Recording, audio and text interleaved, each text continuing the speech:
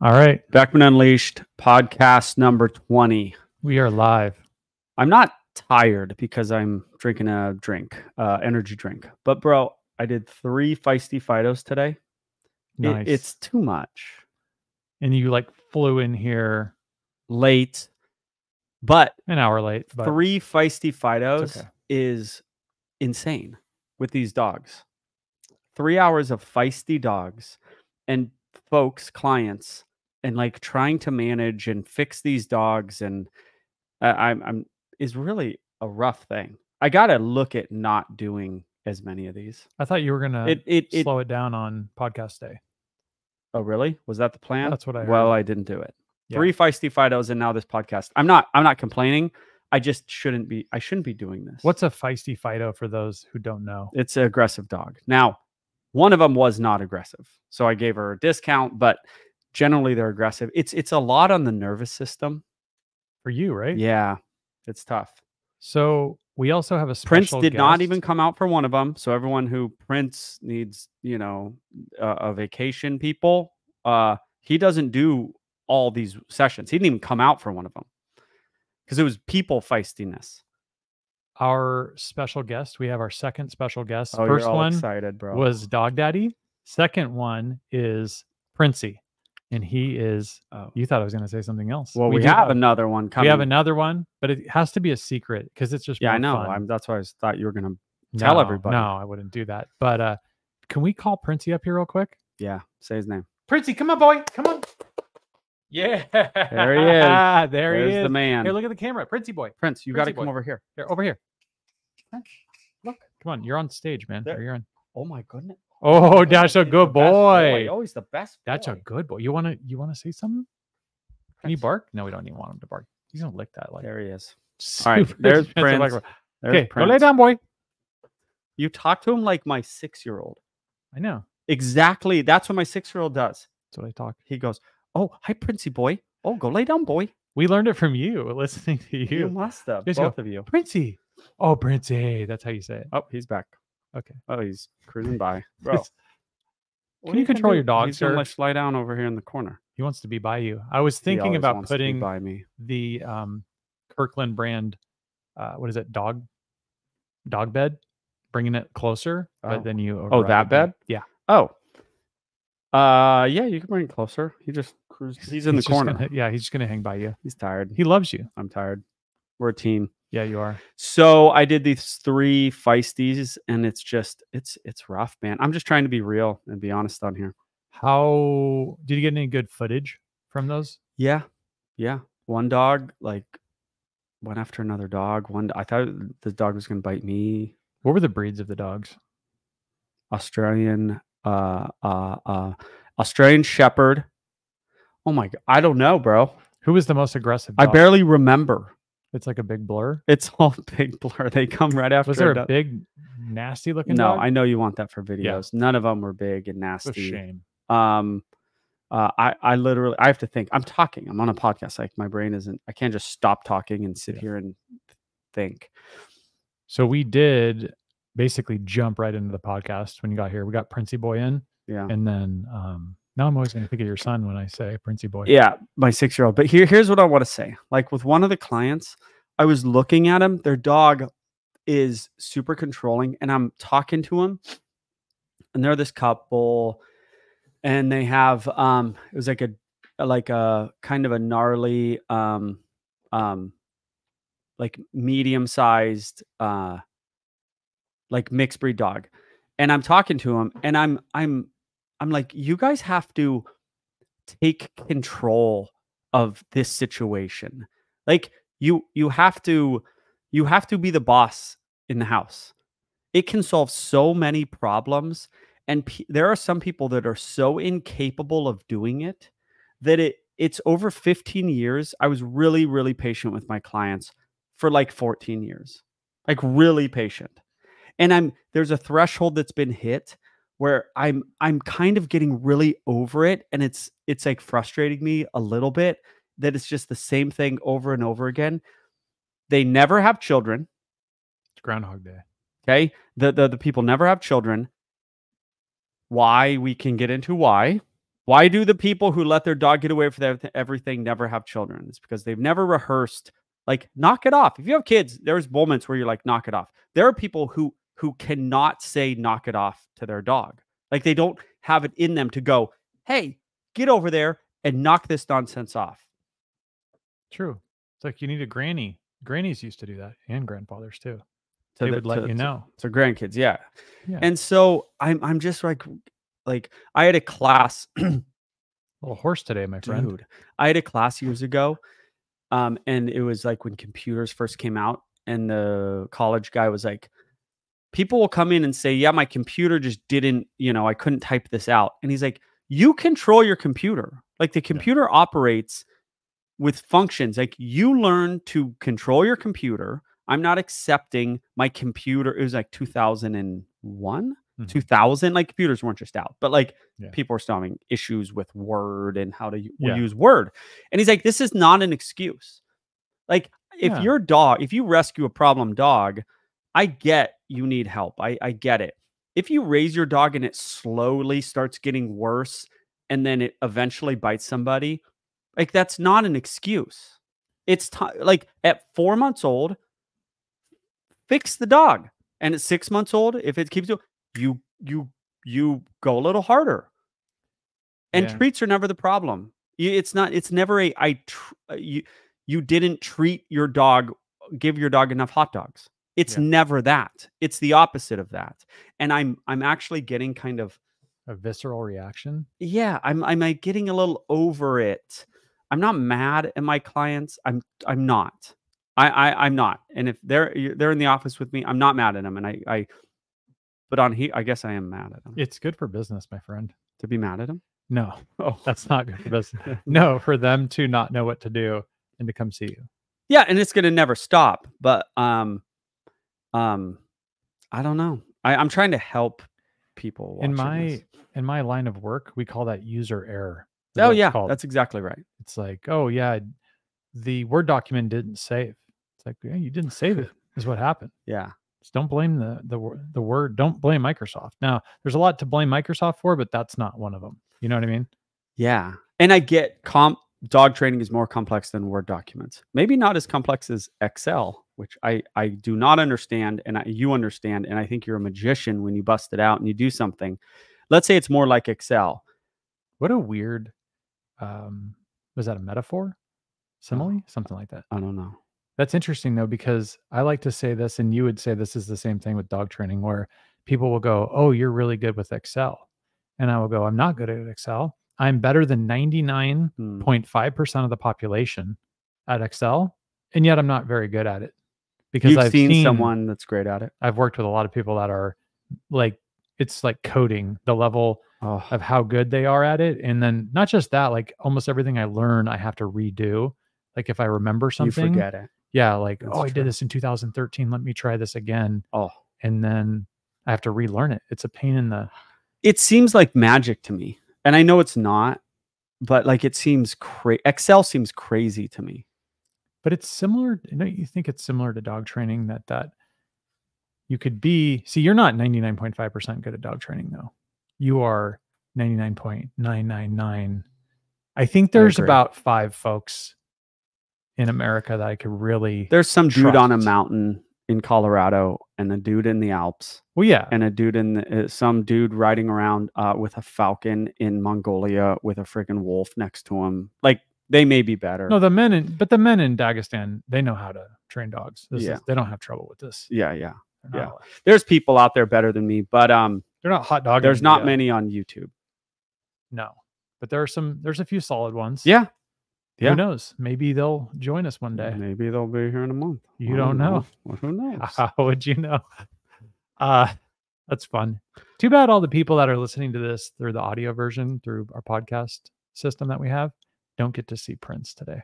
oh I guess yeah they could go pop on well to, they've seen them they've seen YouTube, them but it's fun to see them in the So, studio. yeah i don't want to i just want to wrap up my i don't know my uh frustration So I have an idea if you're done because I want to jump into a So, Google voicemail. okay but let me let me just wrap this up you know you guys take they take control of your of your dog and this is not a parent podcast. This is not a how to be a better employer podcast. This is not um, how to be um, a better parent, like I just said.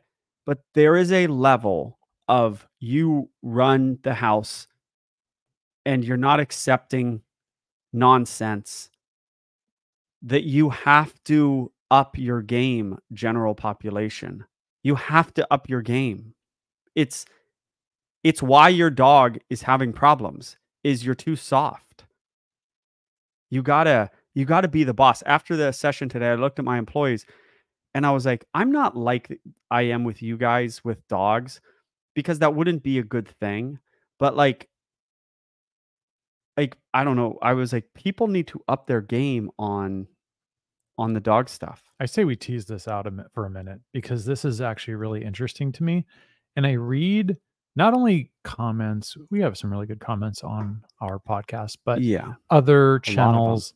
And then I see the conflicting dog training opinions and then kind of the conflicting parenting advice. And I had just went through that because there's like a gentle parenting movement, more or less, uh, Uh, yeah. which is taken over the zeitgeist, I think you call it.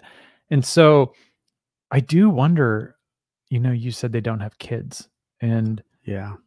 I I I've learned so much from my oldest daughter, which I've raised for 15 years. Yeah. And then obviously I'm learning again, but I believe more what I believed before doing it two and three times. I'm more convinced Yeah. that this way is uh Mia what is it? Miyamoto Musashi, the great samurai guy, No said, idea. said when you know the way Oh yeah. broadly, you will You see it this. in all things. Yeah. Yeah. And we're seeing it in dog training and parenting. Yeah. Yeah. I um I think that the uh I mean, I guess it's the same dog training and parent. I mean, it's similar, obviously, but So- like there was a sorry to interrupt you there was a what was it a comment but essentially my old manager slash mentor told me that and i've sent, said this on the podcast i believe they will do talking about your workers they will do what you put up with and yes. it seems like that works with almost everything in life Yes. You've told me that.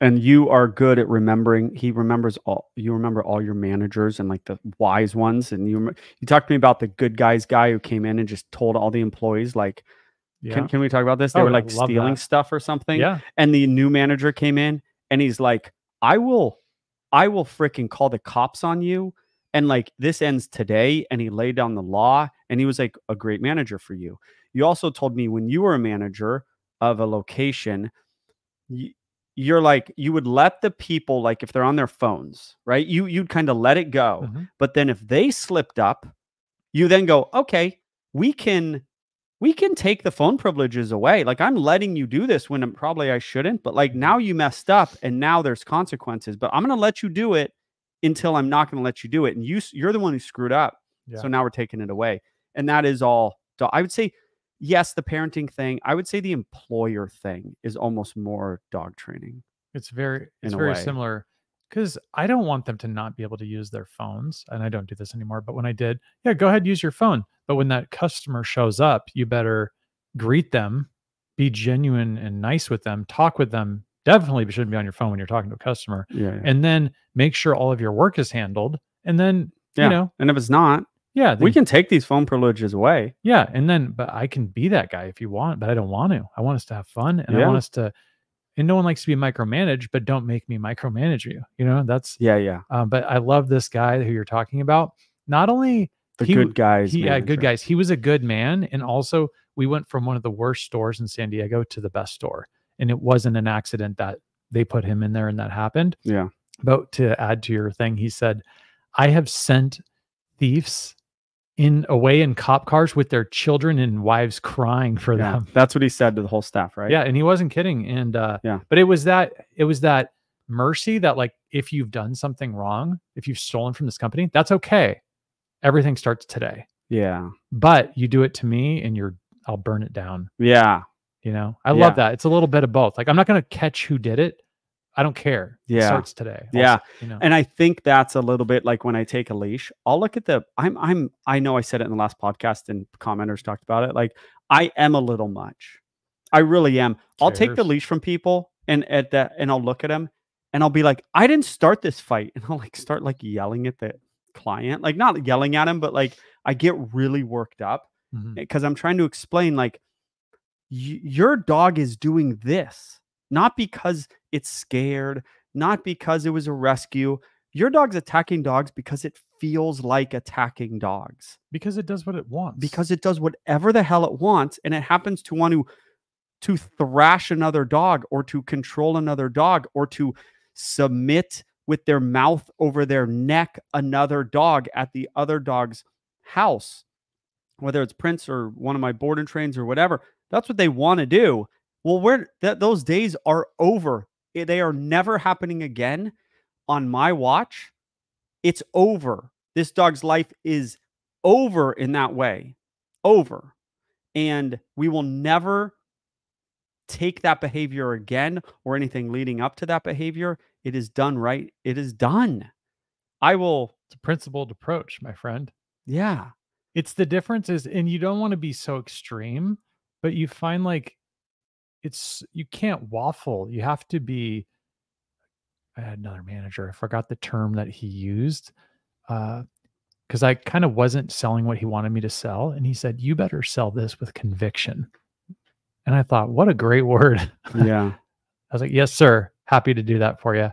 Conviction. But Yeah. you you bring that conviction to dog training, but I think it helps to teach people because then if you if you spend time like some of these academic folks that don't actually work with dogs, then they're so confused because they don't know what to do. Whereas like you show people grab the leash, be the boss, do these things, and Yeah. you give clear cut directions on how to change the dog's life. Yeah. Well, Right? thank you. I mean, that's what I that's what I try to do, and I try to to, to um to send a message that day that then the the people and the dog go home with, and then the dog is hopefully a little bit different, and then the people learn enough to kind of keep the dog different, if that Mhm. makes sense. But you have to make a decision that that the days that the days of that dog doing that are over. Can you repeat the Cesar Millan quote about rehabilitating people? What does he say? I I train dogs. No, I train people. I rehabilitate dogs. Yeah, I think that's right. Yeah. It's so true though, because you need to help in some sense, you need to help the owner more than the dog.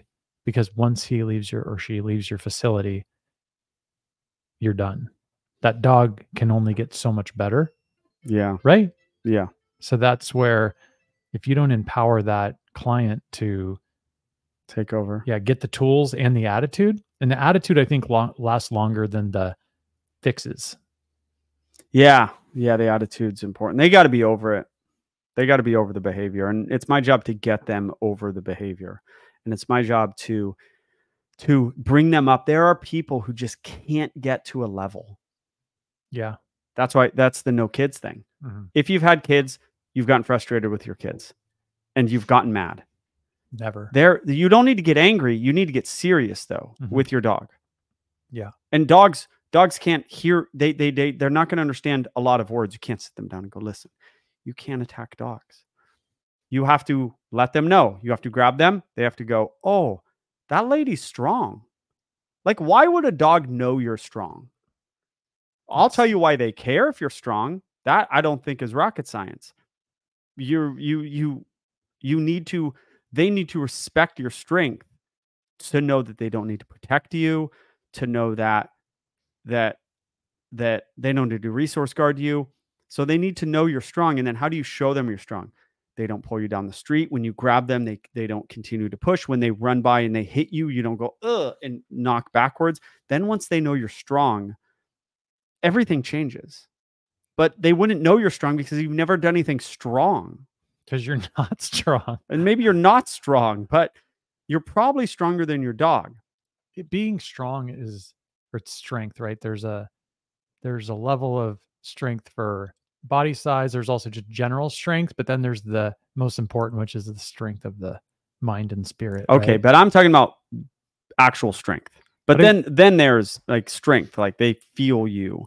But then there's mind strength. but I would different. argue that people that are strong-minded and have strength in their spirit can always grab another animal, you know, and Yeah. not not like sh- not um hurt the animal, but they grab right bro. with and you want me to flex? you were flexing when I was no, I wasn't. Now I Jeez. Okay. Let me know. I'll let you know so you can flex more. Um, but it doesn't take much. That was my left hand too. You should see my right. It's crazy. But someone who has a strong spirit is going to be able to intervene in a meaningful way, even if they're not that strong. Like there's a lot of grandmas that are, you don't want to cross them. You don't want to get on the wrong side of them Yeah. because they are strong in the spirit. Yeah. So I'm getting off my soapbox. People got to step it up. It's out of control. Can I take this in a different direction? Yeah, I'm done. So this is kind of taking it a bit back into the same direction, but uh weird couple ideas here. So this is not suitable for this podcast, but I'm going to quote it anyways because the uh, force free folks will have a, a cow. But one of my favorite movies is called Point Break, and I think it came out in 1991. Surfer slash Yeah. bank robbery movie. Yeah. And Keanu Reeves is in the back of a truck about to rob a bank, even though he's an FBI agent. And Patrick Swayze has a great line in there. And uh, I think I have a, just have a good memory. And he says, it's basic dog psychology. He's like, you get them peeing down their leg and they submit. He says, so you project strength to avoid conflict. Essentially, I, I didn't get it precisely, but that's what he was saying, right? Yes. And so he's saying when you enter a bank, which has a bunch of strong people in it, and you know, if you overwhelm them with strength and power and kind of get them concerned or fearful, Yep. then you're able to go in the bank, take the money, and leave. Yes. Right. And so, first of all, I'm not saying you're doing that or that anyone else is doing that, but what do you think of that? I mean, he did, he called it basic dog psychology. Yeah. Yeah.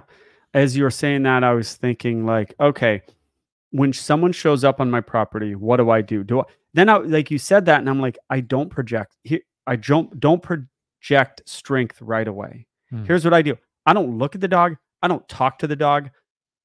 I don't do anything. And then people go, Oh my God, my dog never approaches men. And I'm like, Yeah, because Mhm. I didn't look at it. I didn't reach for it. I didn't do anything. You And almost ignore it, right? I don't almost ignore it. I completely ignore the dog. And then the people go, "Oh my god, I can't believe the dog came up to you." Well, it's because every human being in the world goes, "Oh, dog," and then they stare, and then they do this, and then the dog lashes out. Mhm. So I don't project. eh, To Patrick Swayze's point, I project no strength. I don't do anything, and then the dog. It comes down. We go to the pasture all the time. It's almost ninety percent of the time what we do, and then we let the dog go. And then if the dog, it's force meets force. The dog wants to launch itself at me in a jumping way. I I see it coming eighty percent of the time. I move six inches into the dog to throw its timing off, and the dog takes the hit. I love that you just said that because it goes right into what I wanted to talk about. This is this is a match made in heaven here. Uh, Okay, so can I? I'll finish my point. yeah, keep going. So to Patrick Swayze's point, whatever his name was in that movie, Bodhi, the Um, yeah and then it's um and then i basically i do all these things and then i start looking there was a dog today and he would just walk by me and i would just stare at him and i would just go what are you looking at like You're- after the You're mad dogging him. i was fully mad dogging him i was mean mugging him as i say in my videos and i told them i'm like you guys it's it's it's the people i was talking about earlier. When he walks by don't talk to him just freaking look at him. Like what are you looking at? This dog's attacking people it's attacking dogs and i- i- just because because he, he felt like it. They own the dog the whole life the, the dog's whole life. The dog had no mental we went through all the history i wanted to make sure the breeding i wanted to make sure nothing was wrong with the dog except the people were were so soft on the dog for so long it just decided it rules the roost the days of ruling the roost are over um and I just would mean mug the dog as he goes by. Oh, how would you mean mug? What? Why, Joel? Because you have to. Isn't it weird that you have to almost justify yourself some with some clients because what the intensity and attitude you're bringing is so foreign to what they're used to. Oh yeah. I mean, we had that with the in home a, little bit in home training session. Not a The ton, but video that I put out. yeah, but a bit of like It's there. It's always like that. wow, you're you're being kind of tough on my dog. Yeah. It's always like that. And I have to explain it in the middle of it. I have to go, here's why I'm doing this. And I have to explain it in real time to them. Sometimes I like over explain it if I think that they're not understanding. And You know what you say to him? What? We'll, we'll do this all day. yeah. Yeah. I'll I'll mean my your dog all day.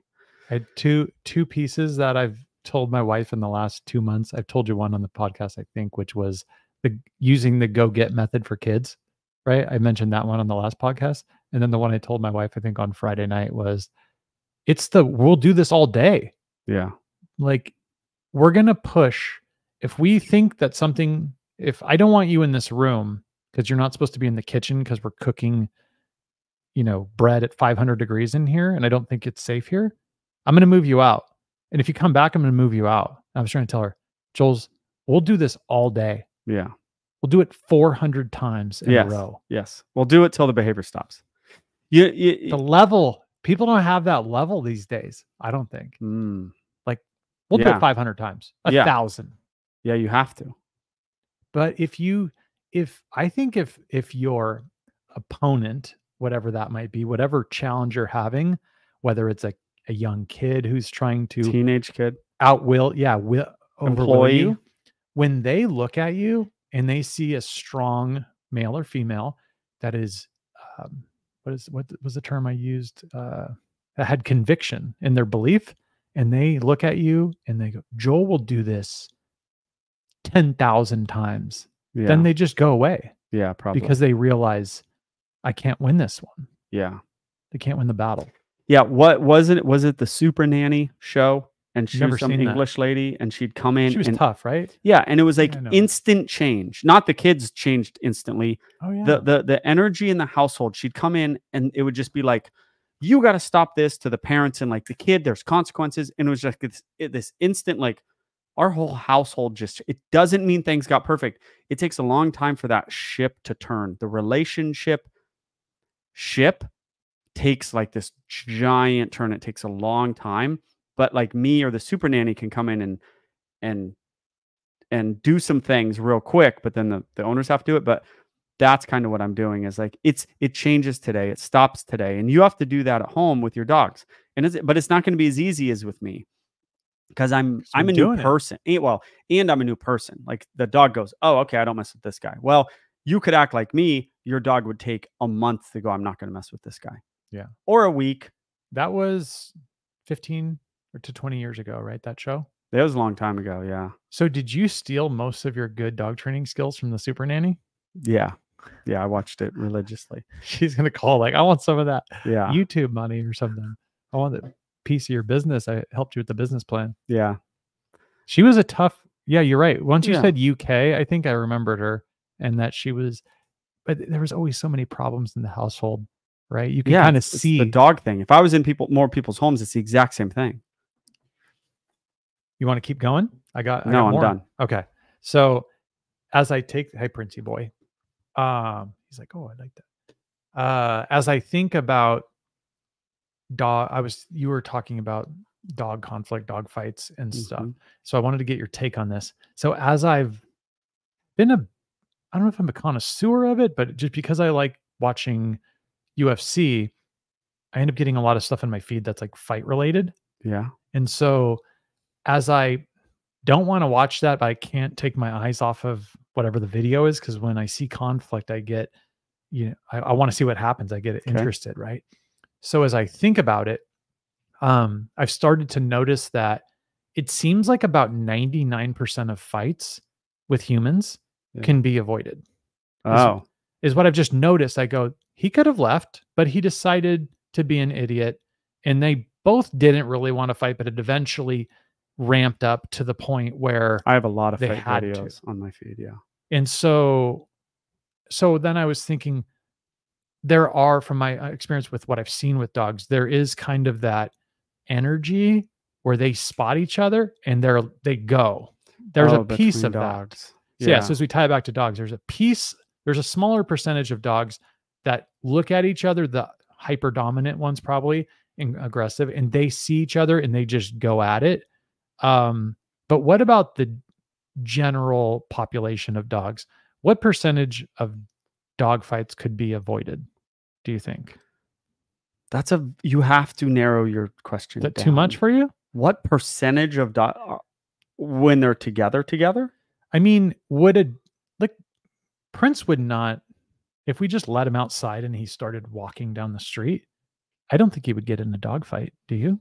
Prince would never get into a dog fight, but also Prince is not like putting up with a lot of nonsense. So, so he could get a dog fight. If he meets a dog and the dog's like, "What's up, bro?" Like, there's going to be a whole posture off, and then P- Prince is going to. I, he is going to fight. I, I, mean, he's got a crazy job. He's not ex- taking a lot of. The problem is, and I use analogies with my clients. Like, if you're walking down the street and somebody kind of bumps you in the shoulder and then kind of looks at you like this, it's not okay in our society to punch them square in the nose as hard as you can. Did that guy do something not cool to you? Yes. Can you attack him because he wasn't cool and then he stared at you a little too long? Our society says you cannot. And now, it is justified, right? no, it might be. I'm just kidding. No, it might be if the guy, you know, we're talking a bump and then a, a stare down. Staring's a big deal in humans and dogs. Right? I know, but our society, yes, but our society says you cannot attack them. So, like, if Prince runs around, like, he's going to be the guy who's not really going to take a, a bump mm-hmm. very well. But or you have to either, right? You have or a stare down, but you have to take a bump and a stare down in our world. In dog world, they don't follow the same rules. But you also don't want to pay for vet bills when your dog doesn't start it. When your dog does start it, but he doesn't start it. Who started it? Who who really started You can't it? really say. You can't right? really say. Um, I took Prince to a dog park eight months ago. I couldn't relax. Bro, he walks in there, four male dogs go up to him. They're all just standing there like, what's up? And then Prince is like, what's up? And then another one comes up, he's like, what's up? And I'm just like, this is gonna pop off at any moment. Yeah. He's not he's not he's intact. Yeah. And like, you know, you can cut the uh the tension with a knife. Yeah. Prince is not going to just go in there and go, "Okay, yeah, you're the boss, buddy." You yeah. know, but these these males can figure it out just like in our society. These males at a bar can generally figure just it like out. Wolves. Yeah. Yeah, well, wolves that's that's more violent, but um, but it, not but it doesn't have to be, right?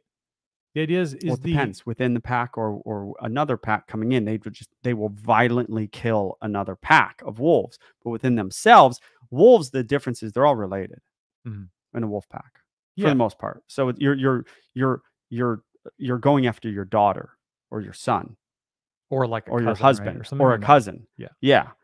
There's actually a whole thing in that of um, like why there's no real altruism in the wild. Like meerkats will do it a little bit, Wasn't there a mongoose maybe, but there, really you only you and you might say, well, what about bees and ants? Bees and ants are all a collection of of cousins and aunts and whatnot. They're all related. They have the same mom. So altruism, it- it's not altruism if it's your family. Animals don't just do stuff for other animals so I think that they are not related to. there was It almost a story about I want to say it was some type of attack. I want to say it was an attack from at least the animals that were involved was a killer whale, a humpback whale, and maybe a shark. But I think it could have been that the orcas were going after a smaller whale and Yes. another whale, like a humpback whale, got involved. It was it was a cross species and it like got violent to protect a different species. Have you heard Yeah. of this? I haven't heard of that one, but I, I hear about I heard it like in, this. in Hawaii. Well, hippos will do it, right? A there's a, a gazelle in the water, and the the the uh, crocodile has its leg, and the hippo comes over and gets mad at the crocodile. Yeah, the hippo. Crazy. The well, the difference is the hippo just doesn't want the nonsense around it. It's not Well, protecting he think anything. He's alpha. Yeah, he's so just like, it's enough of this nonsense in my little corner of the river. Like, get out of here. He's not. He's not.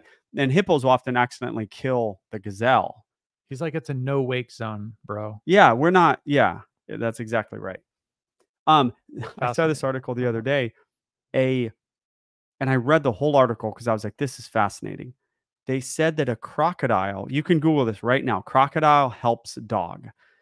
There was a picture of it, but no video. This they said the dog walked in the water, and oh, it was running from a pack of wild dogs. And they they these pack of wild dogs ran this other dog into the water, and then they said the crocodiles ushered the dog down the river away from the crocodile, away from the dogs, and then let it out. And I'm like, this can't be true. This But makes no true? sense. We don't know. I need the video. Yeah. Maybe we can Google it right The now. The days of the article, we don't. We're past that. We're on the YouTube days of like, show me what you're talking. Show us. Yeah. Will you just Google? I have a YouTube right here. We uh, last week was what baby hippo, or that was the day before. That was my. Oh, before. there's the baby hippo being murdered by By, um, hyenas. hyenas, the worst animal in the history of the animal. Are the kingdom. forest free folks? Do they just care about dogs, or do they care about baby Look at the neck on the. Look at the pain though. of the baby hippo slowly dying. I know. The forest free folks care about that. peace. It's a it's a very violent, horrible death.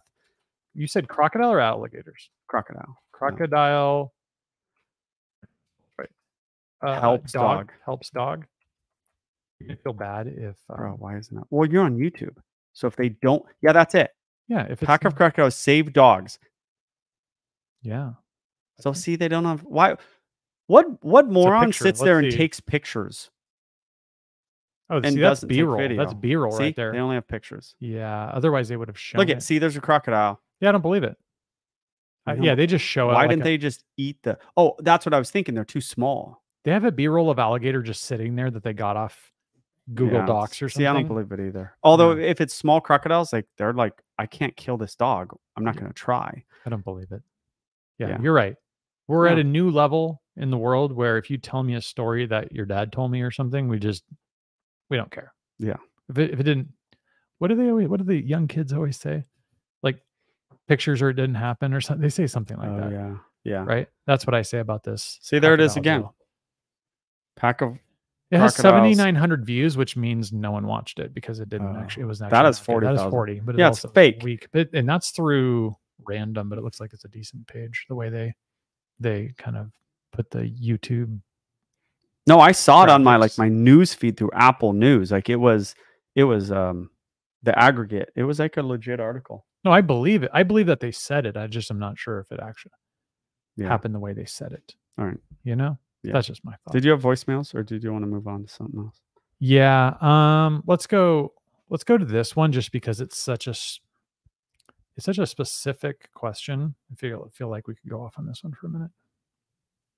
Hey, calling in from the Sunshine State. Uh, just had a question. Do you believe that tethering dogs causes them like psychological issues? Um, we have a seven month old puppy and we keep him on a 50 foot leash in the backyard. Um, but if that's going to like do weird things to him, we don't want to keep doing it. so, thanks. Easy peasy. Do I think tethering dogs has a makes them uh, a seven month old? You got to know the age. Here's the answer, Sunshine State um, lady. Mhm. That, that's not disrespectful, Call her sun- right? No, Sunshine. she didn't say her name. Oh, okay. Um, the answer is absolutely not. A 50 foot leash in the backyard. Is that dangerous? Oh, well, I mean, I, I don't think they're talking about the danger of like it getting wrapped up. I mean, I, I mean, I didn't even think about that. Hmm.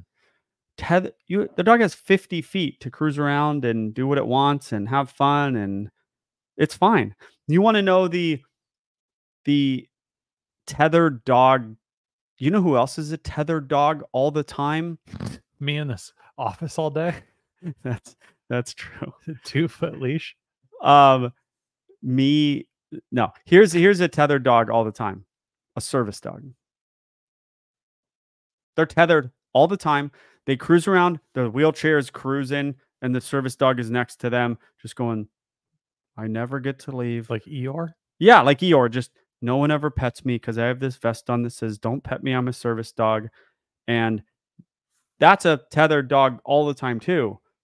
Now, I kind of made it sound like that was um, a mean to do, and in some ways it is, but good service dogs are tethered all the time and learned helplessness kicks in and they're just the greatest dogs ever for service work. What do you think? Greatest being the quotes. So I'd have personally, as someone who knows less than nothing, if I knew that I knew some, if I knew that I knew nothing, nothing, that would be something, but I don't. That's also a quote from Point Break. But um, is and I have actually experienced this because when I was a kid, we had a tethered dog, and I find it a bit disturbing myself. Um, I believe it could have been a chain, but not like a thick chain, but like a little Yeah, wire. yeah, like a metal wire. Yeah, that's still what they're made of usually. But the, you know the reason why he was on that? Because I think the fence was broken. Well, that's the thing. When she said that, I was like, this is Florida. I've been to Florida. You people who live in places that don't have fences is weird. Dude, there's half the country. People just don't put fences up in their backyards. High do fences you know make for good neighbors. That's Yeah, what I've been taught. Yeah. Do you know this? Um, yeah, there's places in the country, but also Like barbed giant- wire is very common as well. And barbed wire often is not going to keep almost anything out. Okay. I'm just saying there are neighborhoods, vast swaths of this country where they just build houses and then everyone's backyard just is together. I That is it is it insane to me. bro, you got to travel more. No, I've seen it. I think it's insane. What I'm saying is I think it's insane. so in New Mexico and places like that, you might have 50, 100, 200 acres, and it's just very difficult to fence it other than doing No, I get that. other than We're doing talking barbed wire- houses with no Yeah, that's- interesting to say the Oh my god, there's giant swaths of this country that do it. But why? I don't know. I mean, if you have a dog, I'd like it to be confined. I'm sure some force free It's not even a dog. like How about that. just walking out and do, in your backyard and your neighbors walking out too? Like, let's. The front yard's one thing. The backyard, Southern California is fences. I love it. Oh yeah, they're way better. But you you gotta you now you're gonna start noticing this. You'll go to Florida. I lived in Florida, and they're just like, you're just they're just everybody everyone's backyard is right there. So that's I assume what she's talking Yeah, about. And you got like to an- tether your dog. I think it's great. like your dog. HOA or something, some type of I don't know. yeah. So I have a full fence around my backyard, So do I. legit one that you can't see. Um, or anyone kind of unless you're at a high enough level, like eight feet or something. And then the front yard has like turf, right? And then I have a white picket fence made out of some type of vinyl. yeah. and it actually doesn't completely go around. The only purpose is to keep the dogs off of. Oh, and I want yeah, to talk to you about poop on this. your turf. So, it's been the greatest investment ever keeping dogs off because then they just have to go to the next one and they don't like to crap on the uh on the cement, right? So they just move on to the next victim. There's a guy, he is 3 to 4 houses down. You'll see him on the way out and he put brand new really nice sod like some type of Bermuda sod legit. And I saw somebody there's dogs just peeing and doing whatever else on and I'm like that's so obnoxious. I was talking to my wife about it. And I'm like, this is just causing damage to this guy's. I walked by it the other day. There's just like burn holes, Oh yeah, burn holes in this brand. Oh. It's brand new. It probably I cost three grand or more to put in, and I know, looks crap. dude. If Prince pees on a fescue, so for everyone out there, if you have dogs, don't put fescue in. Put Ber- Ber- Ber- Bermuda, in. Okay. You'll literally just have a brown spot, and guess what? Nothing will grow there. You have to cut it out and reseed. If you have Bermuda, it'll just keep growing and weaving, and Really? it'll just fix itself. Yeah, Bermuda's the best. It just goes It's really tough, right? Yeah, and it goes it goes it goes dormant in the winter if you're if it's cold, and that's I what people. fescue did too. Nope. Fescue's always green. I think you're wrong. Google it, bro. You don't think I know I about? have fescue in the backyard. Great. It's a certain type, but it goes green. dormant. then you don't have the, the normal fescue. You don't have. I'm telling fescue. Google it. No, we'll do. it we need an wanna- answer, dude. Okay. All right. All right. You keep saying something really cool while I Google it. I will. So so here's actually I won't say something really cool, but just so you know, I got Prince out of the car and I didn't have a leash on him today, so he just kind of cruised out. Dormancy can occur in tall fescue growth when temperaments okay.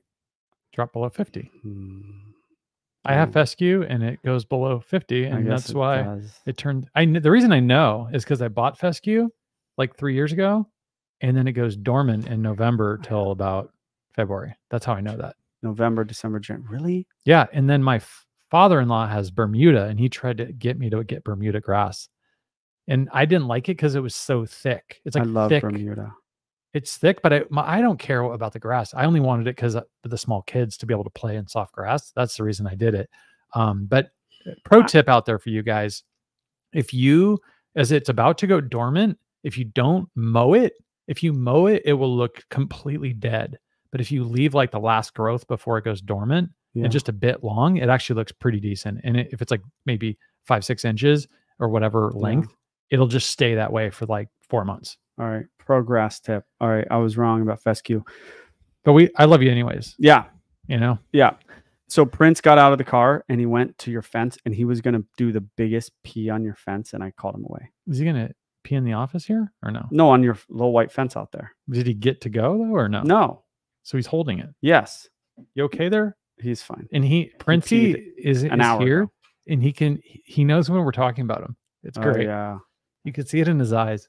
Yeah. Look at him just staring at you and me. That's fantastic. He's a good boy. Princey's the best boy. Um, Everything I say to him is a total copy of what you say to him. So if Oh. you're thinking I sound like your son, Yeah. your son's trying to sound like you, and so am oh, I. Oh, that's funny. It's because I hear all your videos, that's funny. and now he's coming over. Here he is. He doesn't. Oh, hi, Oh, he's boy. the best boy. Hi, boy. Look at the, his head is so big. It's so hard to really show people how big his head is. It doesn't look that big on the screen. That's a good boy. That's a good boy. He's a really good dog. Yes, he is. I always I hold you to such a high standard though with his conduct at this on this property. You're the best in the nation. I want very well behaved dog. He's a good boy. I was going to make a video. I'll preview it here, and then you tell me if you're, interested in this. I was going to make th- this video alone, I didn't. It's going to take some time about like the levels of YouTube dog trainers being there's all these different type of YouTube dog trainers, right? So there's the talkers, and I was going to label them, right? There's the talkers. Then there's the train their own dog in their own home people Mhm. and then it just goes up the ladder and then it eventually and then it's the train other people's dogs but don't train aggressive dogs Yeah. and then at the top The hierarchy. is train other people's aggressive dogs and each level they are at that level because they cannot do the next level so if the talkers had in the bottom level talkers is this weird level because but i Mhm. kind of give them a pass in a way because they're just almost doing like podcasts and talking videos Yeah. but but they're dog trainers so why wouldn't they show their own dog is it could be because their dog's bad or just because they like talking but then if you're not showing your own the minimum of a dog trainer should be you have a good dog that's my point. and if you don't sh- if you don't show your own dog i have to assume you don't know how to train your own dog You don't own one or you don't have a good one. and if you don't own one, why the hell don't you own a dog? You're a dog trainer. So then you go to the next level and you train other, you train your dog in your own home.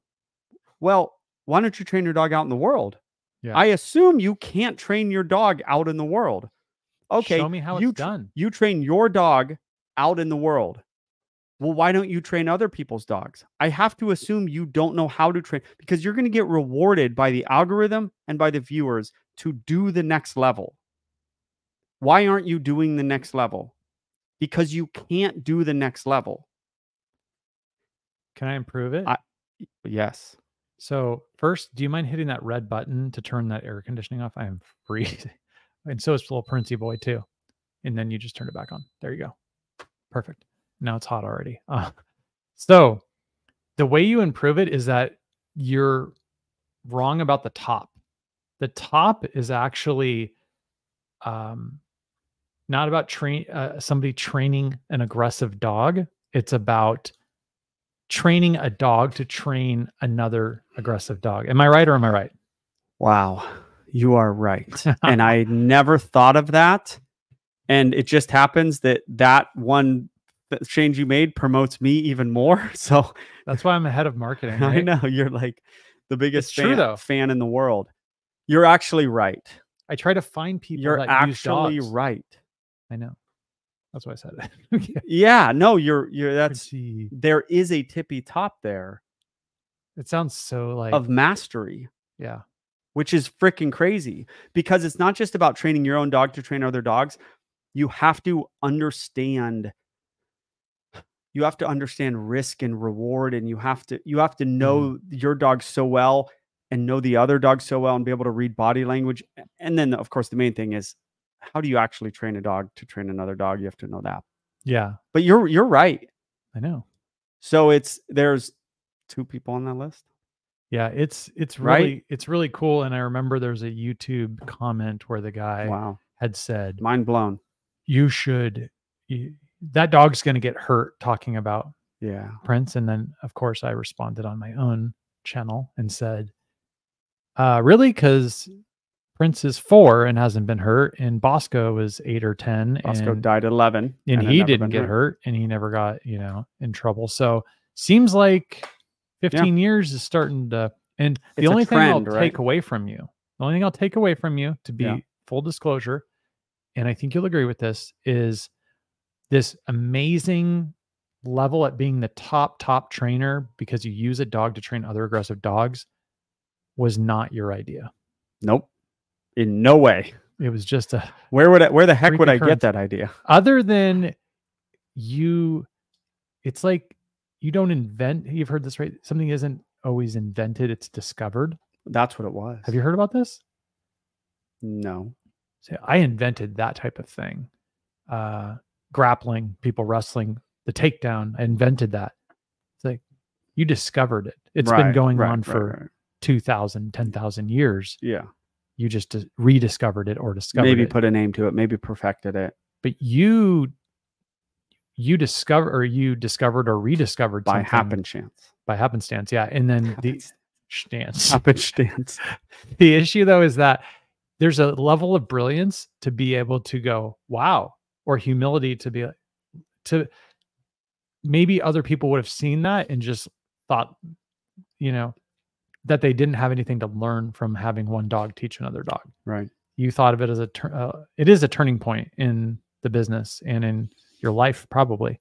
Yeah and it was 15 years ago when i let bosco into the backyard of a 40 pound terrier's house and he got in bosco's face and barked and lunged and i just saw bosco diffuse the dog and do this crazy thing without doing anything to the dog and i said that's insane what i just saw yeah and then I said he needs to be I said he's got a gift and then I used that gift. yeah And then I I trained Prince to have that gift mm-hmm. because he does not naturally have that gift. Yeah. He don't you always say he's not he doesn't have the level of dominance and intensity that Bosco had. He does Naturally. not. Bosco He's got to work at it.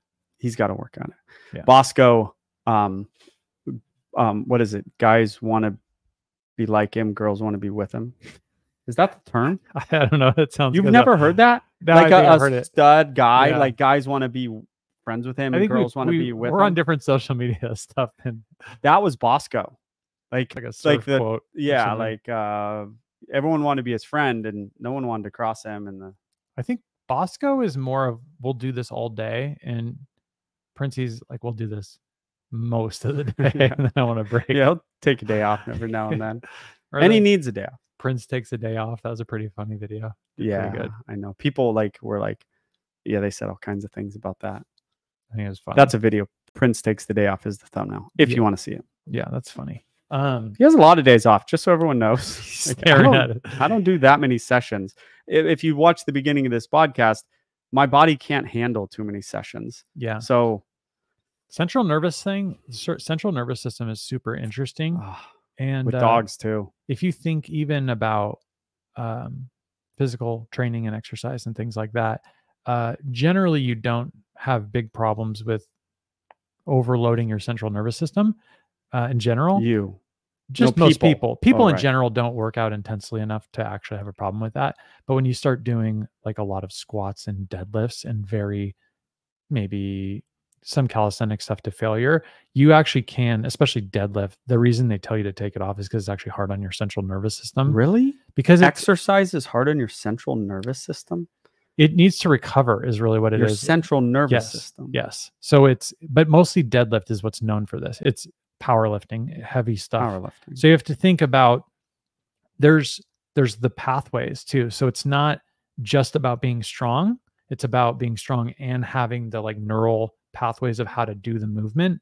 And then if you do like pull-ups is like my specialty. So since I've done them for so long, I will just always be good at them okay. because I've done them for a long time. The pathways are all there. So there's a level of like central nervous system help that you'll be able to do. But as we get it back to like pulling something, you have to think if it's one rep, two reps, five reps, it's totally different than a normal curl exercise where you do it 20 times, right? So to be able to pull something that's so heavy you can only do it once or twice, it fatigues you in a different way. It's Mm. not like your muscles just get sore. It's like your whole body gets sore. Yeah, but okay. Remember, when to the gun range, Mhm.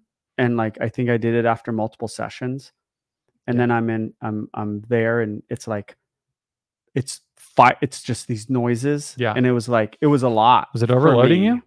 It was a little bit. Yeah. but that's that's my that central nervous system deal. I've never thought not for me, but that's that's where the central nervous system gets wigged out is in doubt those type of environments. You're talking about it. I don't even understand. yeah, Lifting this is weights. old. No, it's it's powerlifting. Powerlifting. It's it's a, How? it, it taxes your central nervous system. There- the how, though? body. Think about it. Think about There's no outside stimuli that's you're not being scared. you're using your central You're nervous not- system. You're oh, using it's it's Never thought of it that way. so like there is so when you imagine something that weighs imagine someone weighs 200 pounds and they're deadlifting 500 pounds, right? oh, okay. I've never That's not lift heavy weights. but that's not natural right picking up Oh. 500 pounds is Well, not that's that true. natural not to say that Right. um that makes sense. but so but also there's just a level of i think grinding somebody down enough so like certain amount of volume i just find generally people don't do enough actual work or i always hear people oh they're burned out a lot of times people are burned out and there's a whole bunch of people that are just lazy right. right. Hey, can I take this back to dogs real quick? no Okay. Yeah, we're weightlifting. yeah and I'm not trying to get you off of it, but I have, like, I don't want to say I've perfected it. Even today with that difficult dog, I was like, we can't do one more dog. Mm-hmm. Like the central nervous system of the dog, it's it's at its max, and my goal is generally not all the time to get it to its max without going over that final little point of which it cannot handle it. Because right after that central nervous system gets to the point, if we go over it, crazy things happen. Yeah. Like really crazy you things happen with overshoot the mark You can't with Yeah. dogs. They'll if they have a, a bit of aggression in them, it'll come out at that point. But we have to take them there. And that's what the force free folks don't get. They think everything is about keeping the dog so under threshold so protected but you have to build the dog like you build anything else. Like you have to tax them so that they can build up the defenses within their body to be able to be taxed a little bit more. Like a long distance running, you don't go out and run um, a marathon. Mhm. You just don't. You you piece it together, and that's what you have to do with these dogs. Is you have to, if they're a little tripped out, you got to stop. But that little tripped out is good. Then next time they get a little more tripped out, and then they can start to handle it. Then they can start to handle just life, because their brain can get tripped out. Their nervous system can get tripped out without them getting tripped out. it's literally identical with weightlifting it is Oh, it's progressive overload is what they call it yeah. So it's a, it's like the law of repeated bouts. You just continue to add a little more stimulus than the last time, right? And that's how you just start squats Yeah. five pounds, ten. You keep adding ten to fifteen, and then the body adapts. You don't push so hard that the body can't adapt. Yeah, yeah. So it's it's called stress recovery adaptation. That's the system Oh, of yeah, that strength training same. essentially. And so, but if you lift a hundred pounds for 10 reps over and over and over, right? You will never get stronger. It might get easier to do. You might get slightly stronger, but you're never going to be like strong as you would if you did a progressive Okay. overload. You know, and My son, can I ask you a about. question? Yeah. My son goes to the gym with me Mhm. and he's 12, but he wants to like, he's well all into bench press Yeah, right now. He wants to get He's buff. 74 pounds Yeah. and he wants to bench his weight. He can do 55 pounds, but then we only have 10 pound bars, It's just so 10 pound funny. dumbbells. So basically, uh, we so so because we don't have five pounds at this gym, they're just Yeah. 10 more pounds. We have a 35 pound bar and then 45 t- two tens. Yeah. So we can only add two more tens at this point. So how does he get strong? Because I just tell him, do what you can, as many as as the viewers are right now just clicking off. Yeah. No, this is crazy good. If people don't like no, this is good for you. No, this is this is the same thing. Okay, so how does my son uh bench uh get get stronger? Because what you just told me, I'm like, I didn't know that. Like I I can have him. I'm like, dude, you can do the bar seven times, 35 pound bar, Yeah. not 45. And I'm like, do the bar a bunch. Next time you'll be a little stronger, and then be a little stronger. You're saying no. Oh, it, He'll get stronger. You you will if you do the same movement over and over and over, it will become easier and easier, easier. So there is a level of strength that you're Okay, getting, but it's good. not. It's pretty. It's like diminishing returns. Like you can only do, uh, just like doing small effort or whatever. But to answer your question, so a you need to get the two and a half yes, pounds on yes, each side. You're right. But I have micro plates over here, Yeah, I and need so you can actually get to the micro plates have. I think they're a quarter, two quarters, two halves, two th- three quarters, and two and a one pound. I think, and so essentially you can get it because there's certain things that are maybe overhead press, maybe, but for him would be perfect that you can only hit so hard because five pounds up is too much, right? Yeah. and that's actually what's funny is I just my wife started working out in the gym here, and um, she's complaining because she's I'm not pushing her hard enough with the workout. I'm like, you're gonna be adding. You keep adding, it will get really hard really quick. And so you just trust the process of adding five pounds every session. But so, but what I told her is to do push-ups because um, if you can't do like 20, 30 plus perfect push-ups, you don't really need to be doing bench press. Oh, right. But so if he does push-ups every other day, that's true. he will be able to do 75 pounds. okay. So that's the answer. Okay. That's what I'll tell him, Every other, because and he'll do it. every other, don't let him do it every day. Because it's the same thing with Oh. the dog training. Stress, recovery, adaptation. Okay. How many push-ups? 20. No, he uh be like one less to failure. Yes. So- yes. Yes. Keep his form, but you have to hit him hard on the fact his form has to be good. Every other day. Got it. That's what I'll do. Yeah. So when you don't take a break, that's where you get the central nervous stuff. You start to like run yourself into the ground because your body doesn't get a chance to rebuild. Okay. And that's but what you're saying back to the dog training is totally the same. Everyone wants to keep it at the same weight because it's comfortable versus no, we need to get you out of your comfort zone and push Yeah. Just that much more today. And then the next day it's like just that much more. It's not a lot, it's a little bit. I honestly think the force free folks, and I don't want to just crap all over the force free folks every single Why thing. not? I don't know. I just don't feel like it. But um I don't think they understand that concept in any way. This concept of like challenge the dog a little bit. Like it's under threshold. It, it, it is there are dogs that that, that you can't live life with them under threshold. The the life is over threshold and they go Mhm. so micro slow that they'll they can never go on a walk or they can it's just it's out of control. I don't want to spend much time on No. that. But, anyway. name some name something that was we're speaking kind of goofy today. Uh name something in life that was worthwhile that wasn't incredibly challenging. I know Nothing, right? nothing.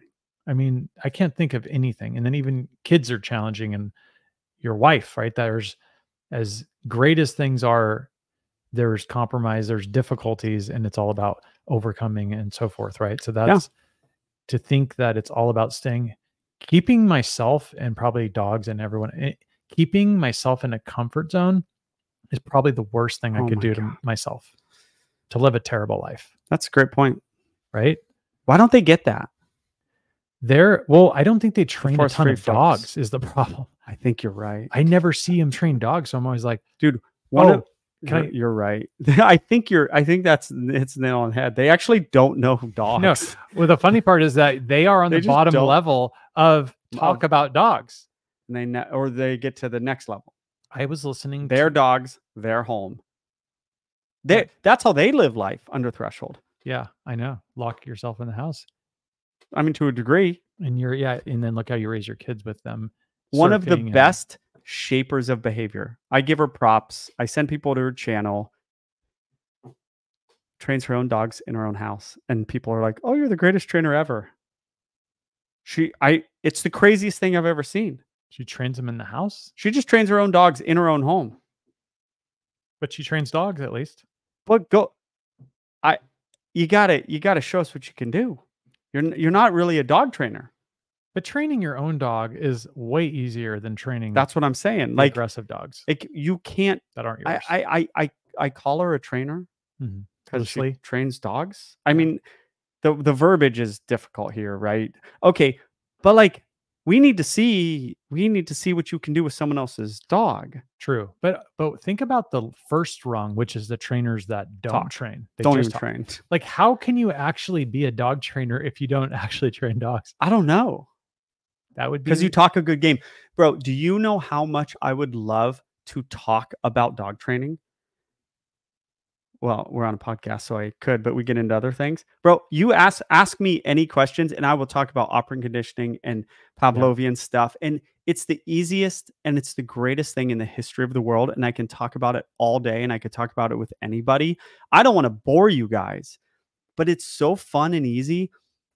Taking someone's random dog that shows up at your house that wants to kill other dogs and trying to do something with it is is a hundred times it's harder mastery. it's mastery but that's what that's what that's that's what makes me sleep at night I like think- just talking about it and people going oh you're so smart like it's nothing doesn't matter Has the one you're talking about has to be made and made soon. The one you're talking about with the tiers and the hierarchy of like yeah levels of dog trainers. And then I actually was listening to this guy Derek from More Plates More Dates, and he was interviewing Andrew Huberman, who I think you're familiar with. He's a Stanford guy. Yeah. I kind of like him. He's a gentleman. He seems incredibly smart. And they were talking, and on I, I have a lot of respect. I have respect for both of those guys. Yeah. Um, but the Andrew Huberman guy, he was saying, I thought it was so interesting, and it relates to what we're doing, and and then also the channel is there's levels kind of of what people want and they gave a survey so think about what do people want as far as so he breaks it down like this and i'm doing this all off the top of my head and i wasn't ready to do this but he was talking about i want to see the data in the form Yeah, he's- of he's very data driven of of mice tests Yeah. done on mice Yeah. there's other people say i don't care about mice Yeah. i only want to see data relating to humans or chimps right which is hard to get yeah so those are but you you get my yep yep my yep spectrum, Yep. right? Then it gets into um I just want to know the overall and I'm I'm I'm bastardizing this a little bit, but the overall overarching consensus, right? Of maybe the data that we're all talking about. So that's like maybe a combination. Then it's um I j- I don't care about that. I just want to know what you Andrew Huberman think. Right. Right? And then he said the last person is I don't care about any of the data. I just want you to tell me what to do. Right That's kind of interesting, right? it is interesting actually And some of the people I think that follow the channel, my channel yes, they want to be told what they need to do. But the problem is, those, the good thing is, those people already implicitly trust me. Mhm. You know, like I, I, I trust Andrew, Andrew Huberman. He is not somebody that I need to go read me the data. I just go, I, Yeah. I, Jordan Peterson. I just Yeah. go, I thought that name too. uh, just not tell me what to do, but like tell me the situation and explain it. I know where you're coming from and I know how smart you are. And I know they have both lived this life and thought about it, especially you listen to Jordan Peterson. Yeah. Bro, you listen to Jordan Peterson, it's it's weird because he gets like like he just gets things that no one else gets. Like I'm at a point in my life where like hard times and like he'll he'll speak about me. Like he's like, you're gonna go through. I don't even know how to explain it. It's just I already What are you trust him. going through, buddy? No, just like in life, like going us- through let stuff. the pod know what's happening. just in life, like going through stuff. You just Yeah.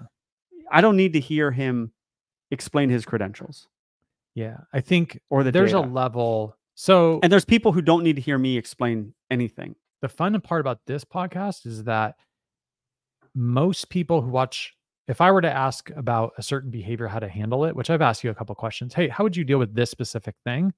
Um, you just tell me, and then I say, tell my wife, he said to do this. Joel said it. Boom, done. Don't need to talk about it. So, but then the pod is a little different because the pod knows they want to hear what you have to say, but then they want to know how you do it, and they want to learn Mm, a lot of the people in the comments, there are people that are just asking, what do I do in this situation? And then there's a lot of people that are getting more into the philosophy of dog training. yeah. And we know this because we read all the comments and we can see what the theme of them is. So it is interesting. Every, not everyone has the same um, goals, Yeah, yeah, Right. that's the problem. what they want out of it, right? Isn't that, yeah. isn't that interesting about Huberman. Huberman? Yeah. Yeah, it's very true. Thought it was i don't know i didn't find out the data but that's anyways that's a little um what do you call it should oh so do you mind um doing some apologies today do you have any any apologies Oh yeah, I apologize to Who did you hurt? Eugene, Oregon. I just I crapped on Eugene, Oregon last podcast like nobody's So good. business. so good I can do that. You know why? Because I grew up there. I can absolutely do it and I actually did do it and I stand by everything I said.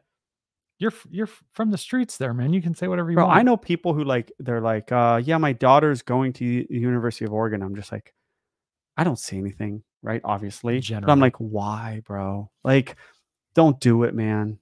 Well, you've lived in both places so you would know Yeah. Yeah. There's, I mean, I see those students walking around at the University of Oregon in the rain. Like there, if you're in college, like there's happy times and you drink a bunch and Mhm. that's fun for many people. And but like you guys are indoors all the time. Like, don't do it. raining Don't do it. Go to San Diego. State. that's the problem is everyone's going to san diego state and Oh. ucsd and now it's incredibly hard if you're from california to get in Yeah. because they want, you know, they're making that big out of state tuition. So off grid dogs who he left us a voicemail, super good. Uh couldn't really share it. Um Because he played. yeah, he played video- he uh, played the clip. yeah. Um but uh I did think it was uh good and I'm glad he sent it. He also sent the comment and I'm just reason I'm reading Yeah. this comment is because he said this. Yeah. Well, I guess this is a cheaper is cheaper than going to therapy, referring to last week the podcast. For me or for the listeners? Uh, probably for. I mean, it was a bit of therapy going al- along last week, but I'm not sure. But what's funny is the second one, uh, right below him said, "Rough podcast for Eugene, Oregon." That's why I apologize. that was funny. Uh, and then the other person, this is all in one screenshot. It's in the last one. Just said Rico said this podcast also allowed Eric to open up Dr. Joel Beckman at work. I saw that. That's funny, right? I didn't think you really opened up. Uh, no, not much. I tried to. I didn't have Bro. much to say. I I when we left that podcast, I talked about me, right? It was about me. But like, and we don't need to get into you, but like I forgot about your hard time. And we don't need to get into it. Maybe Yeah. that's for another day. You didn't know till later. You've told me about that, Yeah. what happened. Yeah, I don't mention. And then you mentioned it after last week's podcast. And I was like, oh my God. Like, like everyone's got something. Like you have something just gnarly. yeah, it's pretty meaningful. And then what's funny is I remember like somebody like challenging me in some way, like, "What have you ever been through?" Kind of Oh, like some kind of like gangster guy said it. Yeah, yeah. And I was like, I, I just this happened to me like a year ago. He was like, I'm sorry, dude. Oh, oh yeah. He Or, like, backed down. Yeah, he was like, wow. Like I didn't think, Yeah. you know. So it is what it is. But um, but either way, I think the heart and soul of the podcast last week was that that stuff is the iron that like forges you into what you are and it makes you tougher. And it's not that you want like let's have some bad stuff happen to us so that we can become better men. No, you just But- live life and bad stuff happens Yeah, you just everybody. you just get through it. Yeah, everyone isn't gonna get um out of this thing alive. Yeah. I know people. I was going to say, I know people that I don't really know anyone that nothing bad, like even a divorce. Like if people just, they get it, their parents get a divorce and they act all sad about it. I'm like, but even that to somebody can be so traumatic. Like I shouldn't minimize Mhm. it in any way. There are ages. Hey, parents out there, you want to get divorced, and 50% of people do bro, do it under three and after 17. It's a pretty I mean, you got to go through uh, three. You got to get One, two, through- and three is causing the divorce. Okay, so do it. yeah, Do it under three. Your 12 year old, your 12 year old, to sit down with your 12 year old and tell them what's going I on. They're br- stuff. Yeah. it's it's it's bad. but I think It's it's so traumatic on them. well, but you were just saying it wasn't traumatic. I know, but I'm saying it is. Well, it's not that for a three year old, you just you don't even know what's going on, and you just grow up with a two parent household. Okay, that's not that bad. The like that's the that's the norm. The 12 year old, and once you're 16, maybe you're mm. almost out of the house. You can kind of understand things. The 12 year old, I, I think 10 it's all old, that circumstantial. dude's that kid is tripping. there's there's so there's so many things right there's there's a div- like there's a just divorce and then two well balanced parents raising a kid separately that one's a little lesser degree but then there's the It's a, my it's not that bad. the wife beats no that one or the wife is getting beaten and picks Um, the kid yeah, and true. leaves true. right and then there's also just someone's not around much or maybe i mean sometimes they move into different states just because of work and stuff it's not always like then you just grow up without a father Maybe Yeah. grow up with a mom grow up Yeah. without a mom and Yeah. we know how you feel about kids with fathers I like kids with fathers. Yeah. I think it's good.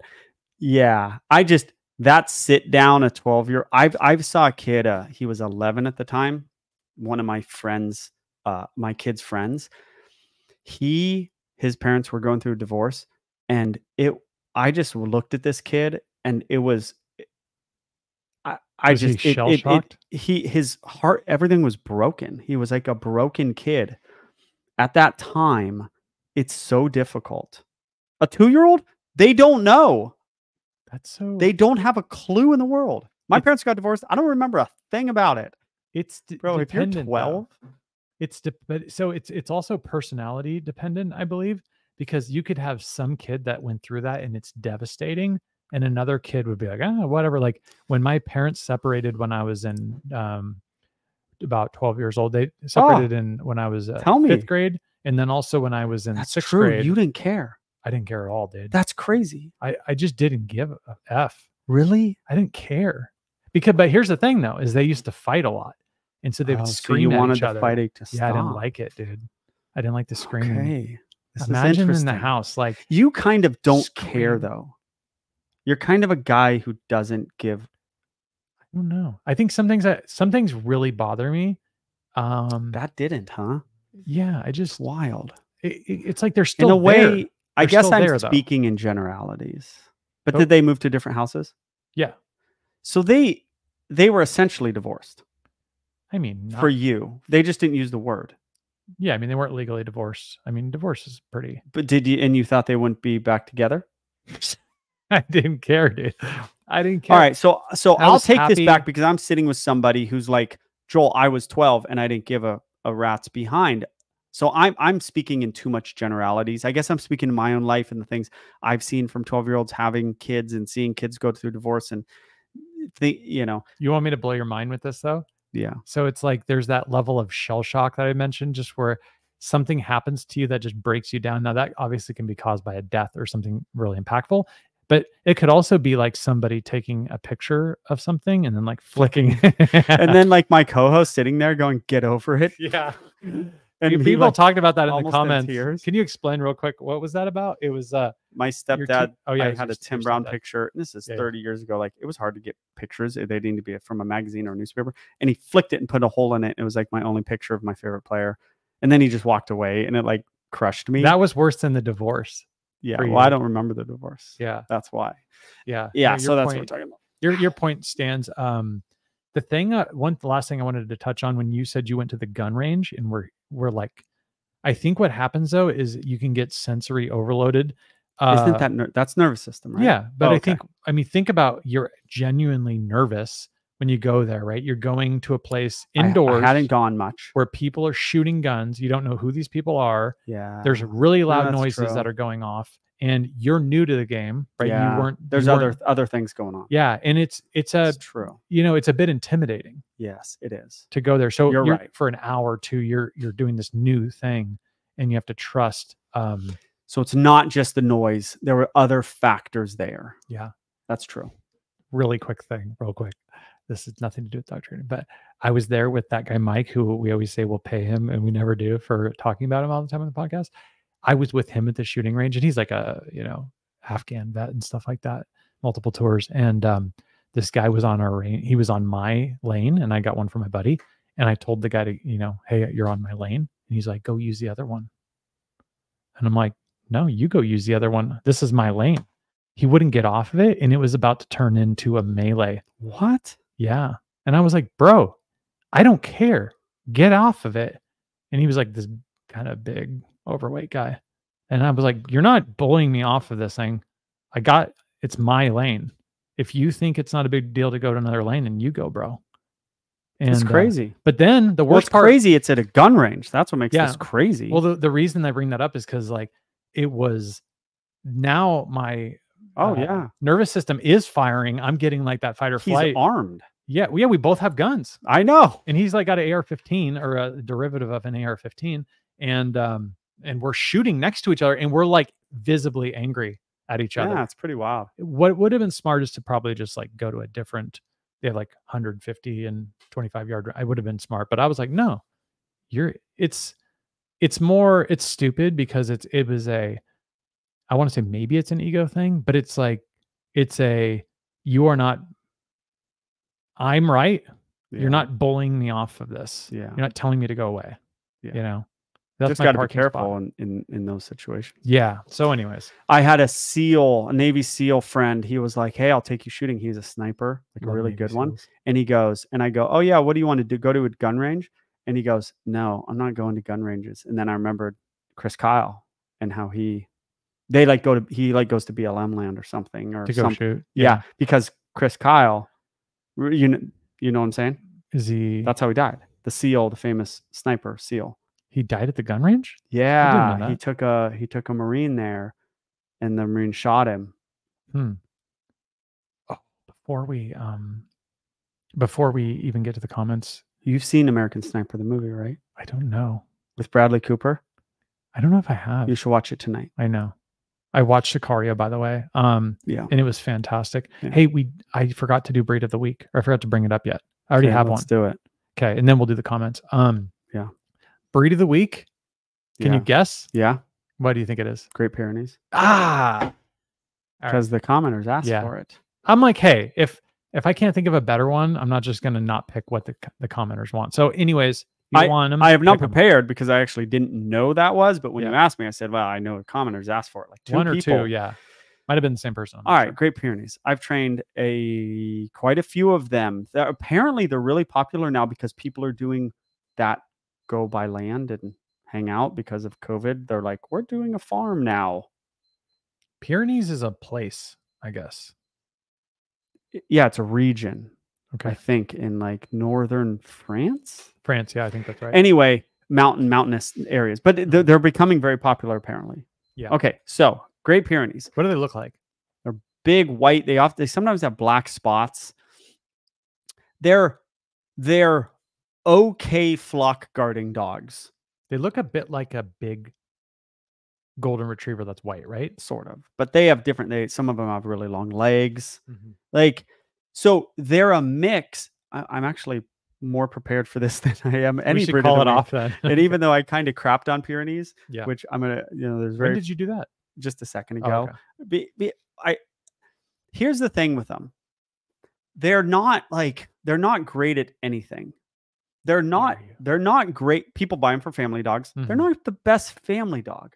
Like there's some problems with them and they belong on a farm and so you put them in a house it's like an akita in an apartment like it's not really great for them but they're also not great flock guarding dogs they're not great at their job but they're okay at both things if i have a real flock that i really need guarding i'm not getting a pyrenees No.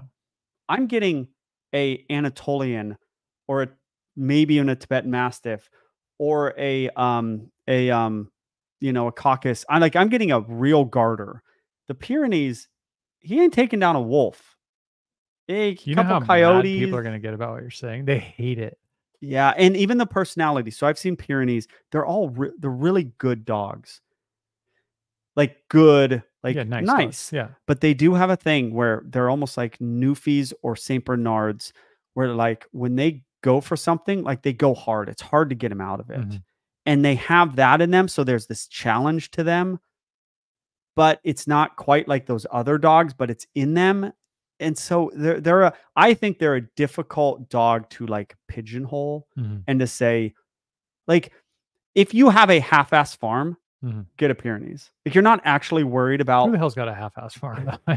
a lot of people now. That's my point. Fake farmers. They're right? buying like like yeah. five acres and like getting some chickens, like but they lived in New York City or they lived in Los Angeles. Like get a Pyrenees But because they're going to do an okay job, and they'll also just cruise, but they don't just like cruise and then bite people. People love that though. If you're from New York, California, uh, Miami, things like that, if like if you move out to New Mexico, they love you. They want you to move to Montana. They they want you to flood into these places. You're kidding, right? I didn't. You said it so deadpan. Yeah. It You know- drives them nuts. Do you know how much the people of these states, and I know we disagree on this a little bit, they hate you, Californians and New Yorkans, New Yorkans. New Yorkers? I can't even talk.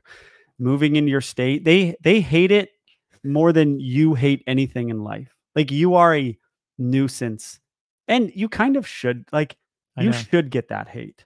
Like you really should. it's like driving to New Mexico. I know you my- don't believe it. I got my California plates. I'm like, can I cover these? yeah up?" if i did it which i've thought about doing it like i would show up and i i would be like i know i know you guys hate this but like well, i'm trying to do the best for my family like i don't want to start hate me i don't care Yeah. There's a don't really level of care. even with like when I go out to New Mexico and different Yeah. places, I- my I have like a 4Runner, but it's lifted and it's kind of aggressive. You know, yeah yeah there's parts of it rack and all this type of stuff. People just it it fits in a bit better. It looks like it belongs there. Um, Yeah. that and you have your california trucks. plates on it though. but yeah, that's the only new mexico's different though Well, where I go is a bit more rural. It's not like Oh, Albuquerque. I'm going up into the uh, what are the, what's the mountain called? Rocky Mountains. Um, yeah Sangre de Cristo, I believe is the mountain range. But anyways, um, yeah. So anyways, so oh, how much do they weigh, sir? Great Pyrenees, male female male. 120 110 to 130 Uh, AKC said 100 and up for males. Alright. Probably, I think it might have been like 90 or something for females. I don't know Yeah. exactly what it what it was. Um, yeah, that's pretty. Yeah, so you're Good basically dogs who not aren't- recommending them. you want you want me to um try to pigeonhole them here's my quote for great pyrenees for breed of the week great dogs who aren't or good good dogs who aren't great at anything they're like good with the kids, but I had someone send me a video of their Great Pyrenees like guarding the stuff in the kids' room and almost attack the mom. And like I've dealt with some some difficult situations with them. They they need land. They need to be sitting outside and looking at something. when you said putting them in an apartment, I thought we just covered like a podcast or two that almost no dog is good in an apartment. No, To a lot of- I Little mean, you said pugs and stuff, Yeah. but almost any, especially with the faster, what would you call it? Just like not hyperactive, but just a more active mm. dog. yeah, right? like a Jack Russell or a Siberian Husky, boxer like my buddy. or something. that- Husky. He had a husky in his apartment. I'm like, oof. yeah, they apartment living is not for dogs, really. It's I mean, not really for people either, it. though. It's not really for people. It's a good point. I'm glad I don't have to live in that apartment anymore. Um, no offense to people that had it, and I know some people like the New York City style apartment stuff, but I like a little bit of space myself. Um, so let's get into some comments. Unless you have anything else to say about No. Great Pyrenees, thank you for the um, the recommendation. By the way, um, Mark Hoffman says. I watched the podcast while working. Mark Hoffman, making, he comments all the time. Um, Sorry. uh no worries uh try this again i watched the podcast while working or making breakfast etc one can watch 18 episodes casually while doing other tasks He was trying to answer the question we asked the other person who watched all of them. He's kind of answering the yeah question. Yeah. We love Mark Hoffman's been commenting for years. that's great i love the, the ones that have been I know Trevor Hoffman. Denver. I trained his dog, Hall of Fame pitcher. denver outdoors is old school right Um, Oh, old school. This one is uh I don't know how long he's been doing it, but he's definitely been with the pod for a long time. Uh Mike Lazure. He's he tends to comment some pretty good stuff. Uh don't want to make his ego too big, but yeah. he does say, uh, and this is in regards to some of the people not liking our California way of talking. Oh. He said, "Hey guys, ignore the few folk trashing you for their for your language use. They can use their annoyance as a growth opportunity in managing their own emotional responses. You don't need to be giving that kind of criticism one second or one second's consideration. We get the podcast for free. We, the listeners, viewers, are not in a position to complain about content we choose to listen to and pay nothing for. Shout out Mike Lazure. Thank Uh, you, Mike. And if you could explain how to say that, if we're way off, let us know.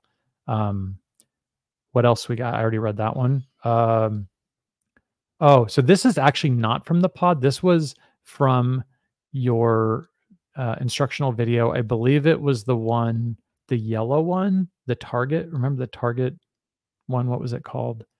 Uh, it was a yellow thumbnail. yeah. I forgot what it was called I don't remember. anyways but the person sancho johnson um i don't think that's his real name says uh you're bringing your energy to the dog which is pretty controlling too. Sure not a Cesar or a dog whisperer. You must be emotionless when training animal for best results. That's what he said to me. yeah even your comment is filled with emotion. You will only go so far with your dog training unless you up your technique. Joel. Yeah. He must. We should get him on. This guy must know a lot about dog training because he's in the comment section. Yeah. I don't even know what he's saying. I like this. You could read, we could have a whole segment on just hateful comments. Comments from the haters. Yeah. But oh, it- yeah. it's that's hard. This What is he podcast saying? has so many, like, such overwhelmingly positive stuff. Yeah. It's on the the- normal video. But the out of control, 2 million, 7 million, 1 million, 500,000 views videos. Yeah. Those get the, the weirdos. Oh yeah, because it goes it goes to non-dog people. Yeah. Will you read it just or what do you think he's saying? I don't know what he's saying. What I think is funny is he's saying you'll only go so far with your dog training unless Me? you, uh, yeah, unless you up your technique. Like I wonder what what has this guy done? I'd love to see. I tried to Yeah. click. There was no videos. I was hoping he I could learn about dog training from him, but there was no videos to Yeah. watch. yeah, well, You know. Um, Yeah. Uh, and something says Eugene has changed a little, but I get that. Is that the overall feeling of Oregon, or I'm in Gresham, just outside of Port Portland? It's pretty nice yeah. my grandma and my aunt both lived in Gresham. Surprisingly. Oh, really? Yeah, they went from it's kind of funny because they live um they lived in a town called Oceanside in uh San Diego and moved to Gresham, Oregon. Yeah. So shout out Gresham. I've yeah, there's some nice suburbs of Portland. I I I I uh, I know people and they like move like apparently Lake Oswego is like where all the Is that how Portland you say that? Lake Oswego. Yeah. They move Hmm. like from Portland because it's a S show. And then they go to Lake Oswego and it's like this nice place. And I'm like, no, no, no. You guys voted for this. Like, no, See- no, no, no. You, stay in Portland. Did you You all voted for this. do you know how Why are you leaving? Why are you going to why are you going to Bend? No, no, Yeah. no. Stay you you you need to stay there. Yeah. You literally need to stay there. You know how aggressive the homeless population is in Oregon? Yes. And I've been in Seattle for work for the Pacific Northwest is on a different level. but I had no idea because I did in San Diego, the homeless popul- population would never really bother people just walking by. And when I was in Seattle for three years, uh, like on and off, just for this work stuff, I couldn't believe it. no. Like, hey, you, I need money. Give me some money. Like, Bro, bro, You just reminded me, and I don't mean to. Ahead. yes, you're right. I we four years ago, me and my family, we'd take a trip up to Oregon. Usually now I can't. I think I'm going to be shouted down in the streets from you're Oregon, not allowed. Eugenians and Oregonians. And my, my daughter and I were biking on by the Willamette River where I grew up in this town in Eugene. And we went under the bridge and there was homeless everywhere. And they were looking at us in such a hor I'd never this is like five years. No, it's probably more than five years ago. It was like right when it was turning to this really aggressive homelessness thing, like that 10, you know, this Yeah. started this is recent. And I remember going, what's going on? I've never seen homeless people this aggressive. And they were looking at us, and I was like, this is seriously, this isn't normal. And I it, like, I was like, this is weird. And it's only gotten worse. And the news stories have only sort of tell us it's getting worse with all the horrible stories. But like, everybody there, like, no, no, no.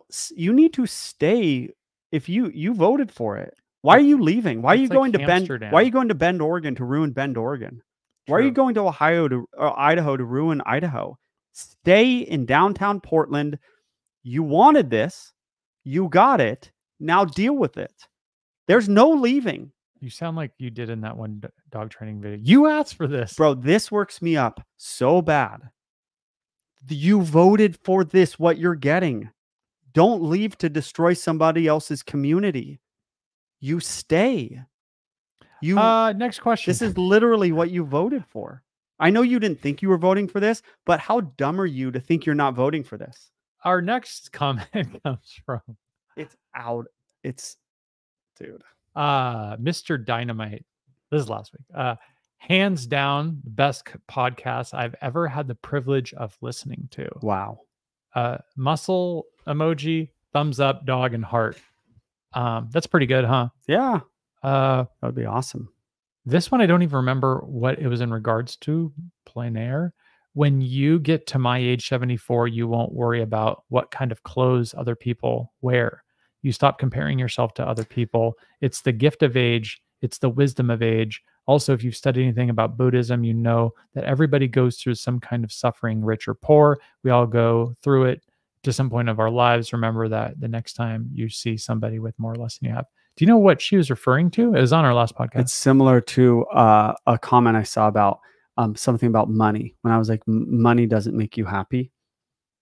Oh yeah, yeah. I actually think that's what someone like that. yeah, they said the same thing. I think it's the same one. person Yeah. said like, it was kind of weird. I read it. It was like, money does make you happy though.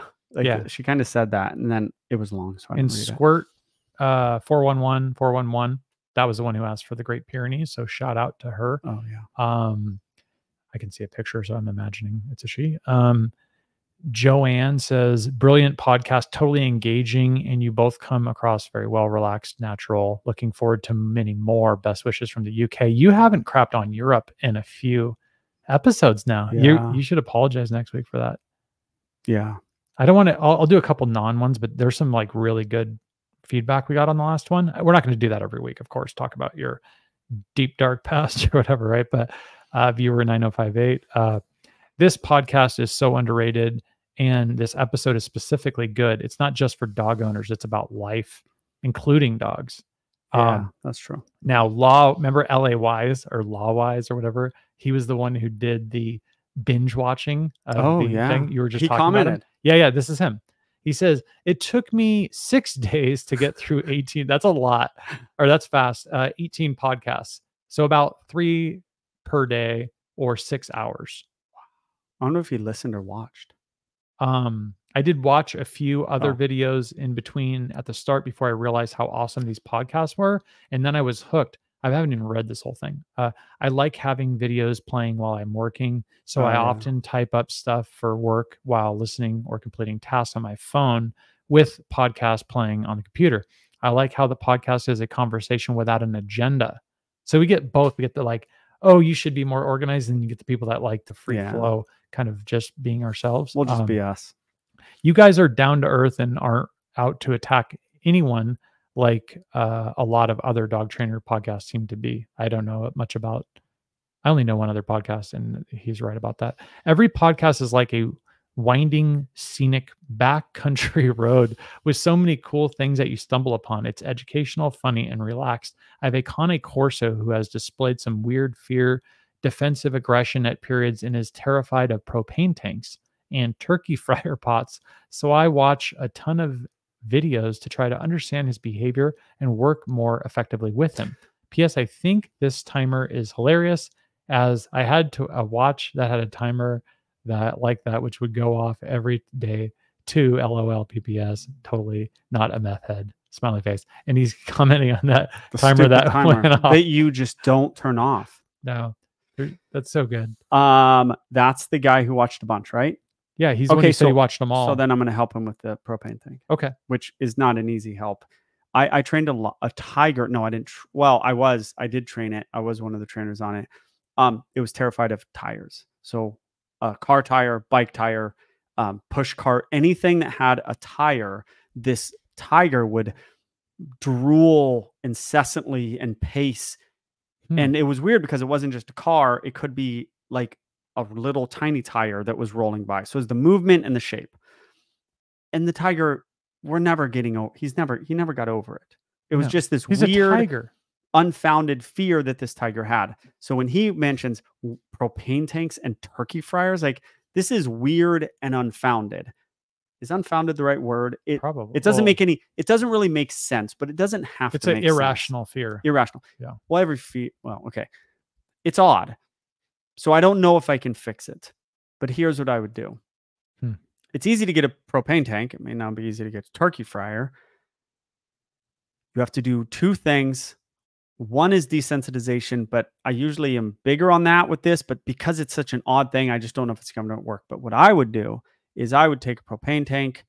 You could start with like a smaller one if you could find them or something that size. And I would put the single greatest thing chicken, hot dogs all around That's a it. good idea. And you just, you just, you never stop doing that. you hot dog it. See, hot dogs are the solution to dog yeah and you just and you just put them around it and the dog's are going to come up and you might have to start it far away and start the hot dog one foot the dog has to go one foot closer to it even though the propane tank's 50 feet away i don't know where you start this but the pavlovian you got to force the dog to get closer a little bit Yeah. without forcing them you should never force this dog to do this and then you just hot dog it up Exposure.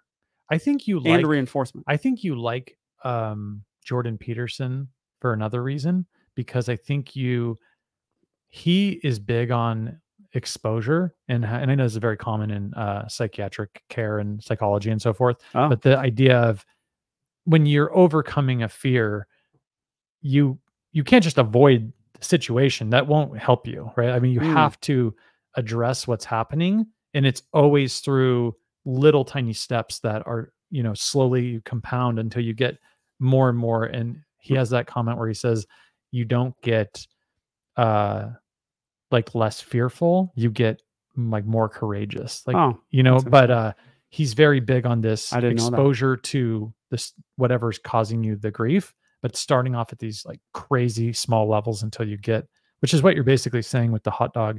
Yeah. Um so you don't want to take the propane tank and just like jump out at him like when he's like going around a corner right? Yeah yeah that'd be the single worst thing you could do.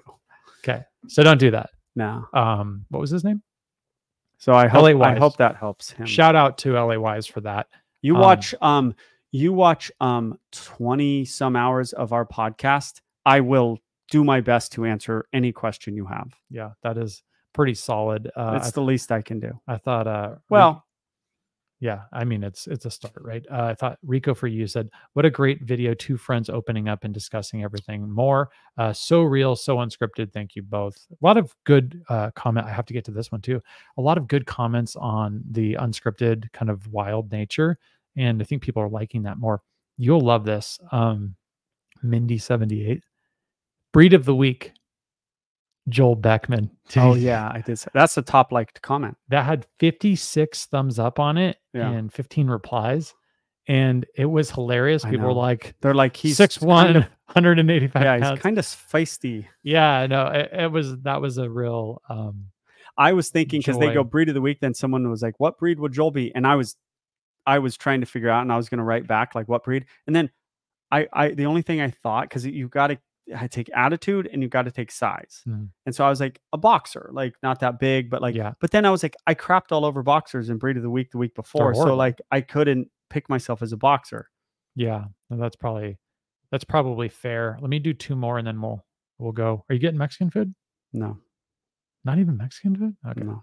Um, so let's uh how about this one? I think this one would probably be enough. Yeah, let's do this one and then we'll call it we'll call it a day since you're not getting Mexican food. Uh Lisa Pisa says, Thank you, Joel, for talking about growing up in a single mom home.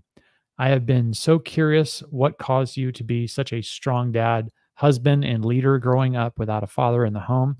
It seems so rare an outcome.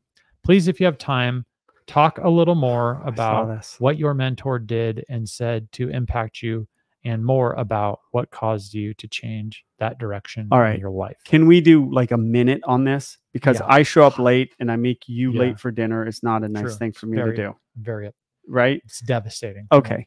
So, but I saw this comment and that's what I thought the disconnect might be last week is people going like, oh, he seems like a good dad and blah, blah, blah. Um, my wife says the same thing, by the way. She's like, how are you such a good dad and you don't, you know, you never had a dad or whatever. And it doesn't seem that like those, they're not mutually exclusive. Am I Mhm. using that right? Yeah, Having yeah, a it's not- dad it's not doesn't cause and mean you're a great Yeah. dad. No. Not having it, like being you a can dad. learn both ways. Yeah, yeah, yeah, yeah. You can be a great dad both ways. They're the dads are always an example. I'm not a. Yeah, I guess you got a better shot at being a good dad if you had a good dad. no, I don't know. That's what I'm saying. I, I mean, I guess. I, think, it's like everyone is example, some good, some bad. yeah, that's true. But having a, you know, having I know like even Eminem, I know like uh I've seen interviews with him and he says like I could yeah, his dad left him. He's like, I could never imagine leaving my child. Like, Yeah, yeah. and he became like a really good dad because of that. Did he though? Yeah, he's a really good dad. All right. No, he has a great relationship with his daughter, and Yeah. he even adopted a da- another daughter that wasn't his All right. biological daughter. All right. It was pretty solid. Oh, and then like while we're on the the rapper topic, um, this is my thought for you on your dad journey.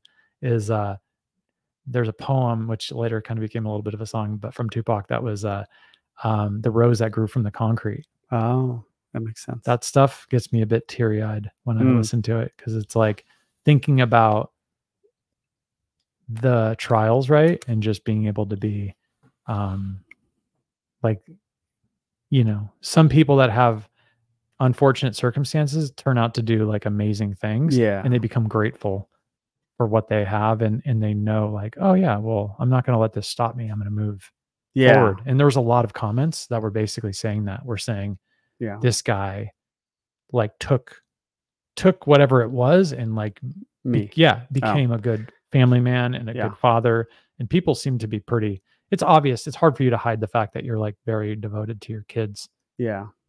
Yeah. We're And little you late in the game and for that I, I think I have really good kids and you've seen my kids and I think you would agree. yeah your kids are surprisingly good for your you being their dad yeah. So let me answer cool. that question real quick. Yeah. I'll t- I don't know if you think I'm a good dad, why I'm a good dad. My wife thinks I'm a good dad, my kids think I'm a good dad. it's a good start Yeah. Here's what I'll say. At 23 years old, I told I talked about last week, you know the the the, the type of person. This guy gave no shits about my feelings. I was messing up in life and he he was so hard on me Mhm. like you've heard the stories. He Yeah. was so hard on me because he cared about me and he Yeah. just did not give a rat's he he was so hard on me. Did he, he, gave just you the joel beckman treatment Yeah, yeah, he just said he he's like he told me the truth about myself. It's kind of like with my little brother. Like I told him that maybe hard truth in the car we talked Mhm. about last week. Like yeah it's not even like that, but it's maybe a little like that. Like, here's the truth, bro. Like, this is the truth. Like, you're messed up. And like, here's how you're messed up. And then I'd call him and I'd say, Oh, I did this. And he'd go, What the hell? What's wrong with you? And he'd like just give me the right act. yeah Not every day, but a lot. And then that window, that mirror is put in front of you. And you got to look at the person that you have become. Not even like the, a horrible person, but just your actions, right? And if those that mirror is never put in front of you, Mhm. it's it's um it's hard to get better.